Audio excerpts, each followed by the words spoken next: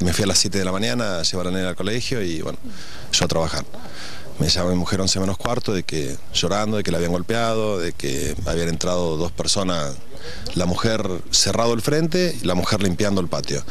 Eh, ella estaba durmiendo, de haber sido 10, 10, 9 y media, 10, no puedo especificar bien la hora porque en este momento está, está en el hospital, ella la están cosiendo por un traumatismo que subió en la, en la cabeza por un culatazo, ella siente los gritos, se levanta corriendo a querer apretar la, quiso apretar el botón de la alarma del antipánico y bueno, recibió un culatazo en la cabeza, en lo cual produjo un corte y hay sangre desparramada por todo, toda la casa.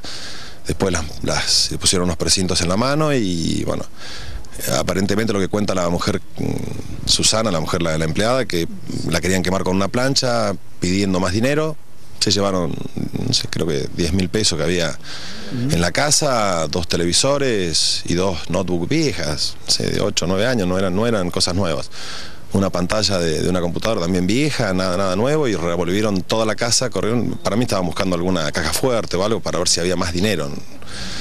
Y bueno, nada, yo llegué y ahora me encontré con toda este, esta situación que lo, lo, lo que nos llama la atención de que no lo había comentado, de que a las 3 de la mañana la perra chiquita ladraba ladraba uh -huh. y es más, nos levantábamos, la retamos y, nos acostamos otra vez, pero eso fue a las 3 de la mañana, que la chiquitina. Chiquitita, sí, ahí lo eh, y este y nada, ahora nombraron a mi hijo, que lo conocían, no sé. O sea, venía como con, con datos sobre la no familia. Sé, es raro porque no había más dinero en la casa, no, no, no, no, no, no.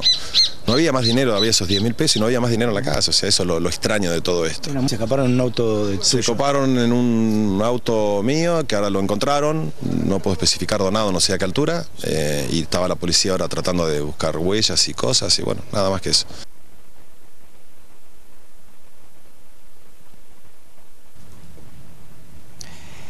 El automóvil, en tanto, el Renault Fluence blanco que había sido sustraído de la vivienda de Maitén 289 fue hallado minutos más tarde por personal policial en Perito Moreno y donado.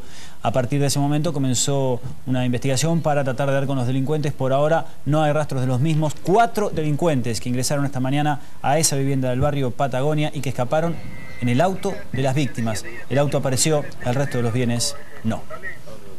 No, negativo, tiene...